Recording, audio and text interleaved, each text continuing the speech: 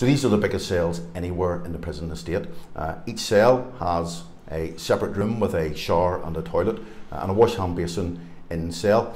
Uh, the cells also have inbuilt furniture, uh, which is anti-ligature uh, and, and safe.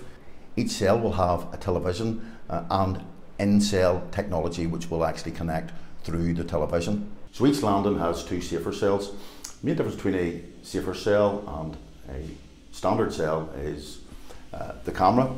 So someone at risk, someone who comes to us in crisis, uh, will be under permanent uh, camera observation by the person on the centre desk, as well as the extra observations that landing staff will carry out. They also have access to the uh, phone and they're able to call and speak to someone from the Samaritans, as anyone within the community would be able to do. The core work of prison staff is about supporting and challenging people to change. Everything within the design of Davis House is about facilitating them to do that, uh, allowing staff to work closely with prisoners. Everything is, is on landing or off landing.